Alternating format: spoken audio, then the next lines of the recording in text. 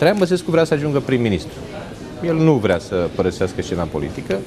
Asta e înțelegerea pe care a făcut-o cu Iohannis. Asta este înțelegerea. Băsescu vrea să ajungă premier. Nu e de condamnat pentru asta. E de condamnat pentru că își bate joc de Constituție. Iohannis spune că i-a promis o înțelegere de, și domnul Iohannis spuneți că i-a promis funcția de premier domnului Băsescu? Da.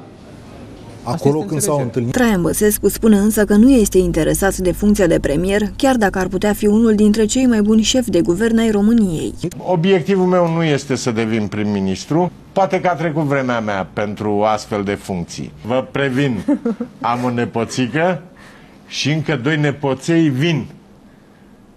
Asta înseamnă că?